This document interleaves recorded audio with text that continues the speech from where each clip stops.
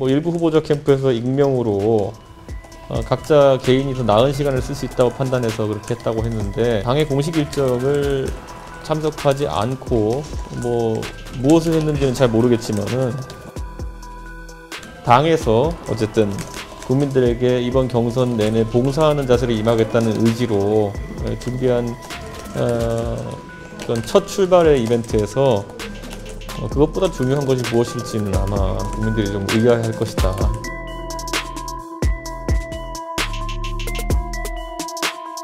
그때 뭐 얼마나 그 어?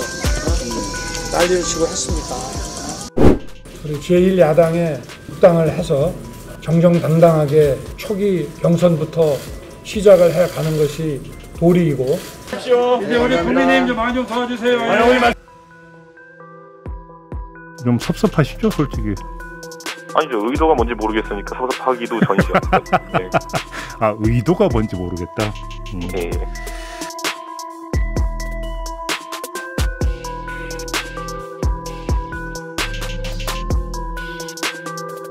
당 대표를 노골적으로 무시한 행위가 아닌지 여러 가지 에, 해석이 나오고 있습니다.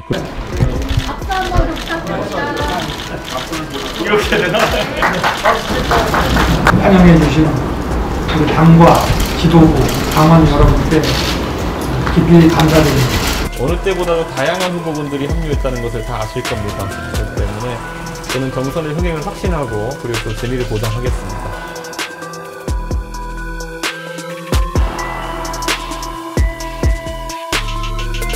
오늘 이 같이 땀을 흘린 후보자들이 서로 시너지를 낼 수 있는 방향으로 결론이 났으면 좋겠다 이런 말씀을 드리겠습니다.